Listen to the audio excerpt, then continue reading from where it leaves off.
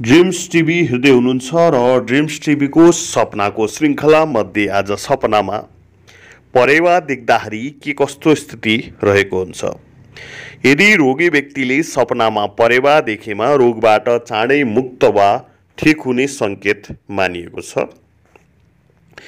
सेतो रङको परेवा देखेमा धार्मिक कार्यक्रम शैक्षिक कार्यक्रम पूजापाठ अथवा कुनै पनि प्रकारको ध्यान आराधना योग क्षेत्रमा तपाईँ लाग्न सक्नुहुनेछ।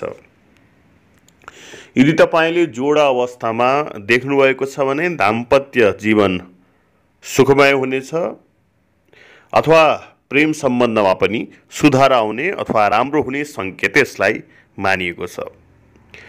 यदि तपाईँले ब्राउन कलरको कफी कलरको देख्नुभएको छ भने धनप्राप्ति कामनाहरूको पूर्ति हुने कुनै पनि प्रकारको तपाईँको मनोकामना इत्यादि छ भने यस्तो समयमा तपाईँको लागि राम्रो मानिएको छ। विशेष गरेर पनि सपनामा परेवा।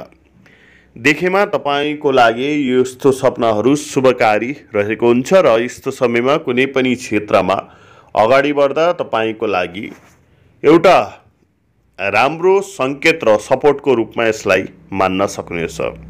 जहिले पनि यस्तो सपनाहरू देखेमा तपाईँ राम्रोसँग कुनै ज्योतिषी अथवा विद्वानसँग परामर्श लिएर अगाडि बढ्न सक्नुहुनेछ व्यापार सम्बन्धित कुरा होस् जागिर सम्बन्धित कुरा होस् अथवा अन्य कुनै यस्तै आर्थिक सम्बन्धित कुरामा पनि लाभ मिल्ने सङ्केत रहेको हुन्छ।